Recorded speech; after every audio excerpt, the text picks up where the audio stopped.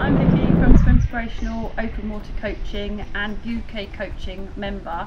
During the lockdown, I took part in their mental health awareness training CPD online. I found this training to be very informative and it helped give me a better understanding of mental health and the misconceptions and how to recognise signs. I really, really enjoyed the mental health awareness for sport and physical activity online training.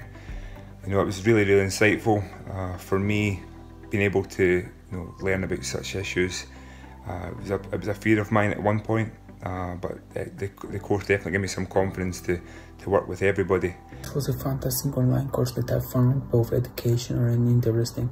It was well presented and informative, giving a deeper understanding of the main relevant aspects surrounding mental health. Like Leonardo da Vinci said, if the mind is not healthy, the body won't be healthy.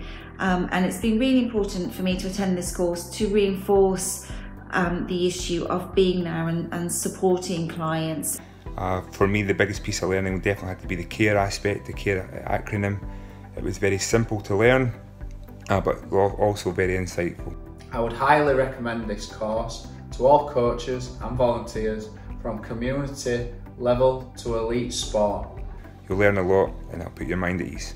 So thank you very much. Um, it's been a great way to reinforce all those issues and to be um, a better PT and a, and a better person.